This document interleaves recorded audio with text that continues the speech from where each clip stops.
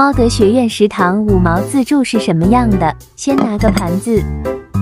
哇哦，今天的主菜是小汉堡，夹着生菜，感觉很营养，适合我减肥。咋一夹就碎。多春鱼看着很新鲜，来一条高蛋白低脂肪。这奶酪芝士看着好好吃，减肥的我还是只加一块吧。咋又碎了？算了，不管了。这道菜怎么没写名字？怎么回事？我的手开始抖了，有点上头。我必须看看是什么菜。又开始手抖了，这也太上头了。我刚才说了我在减肥，所以鸡排就不吃了。减肥适合多吃青菜，加一点吧。提拉米苏 Y Y D S，今天还有白色新口味。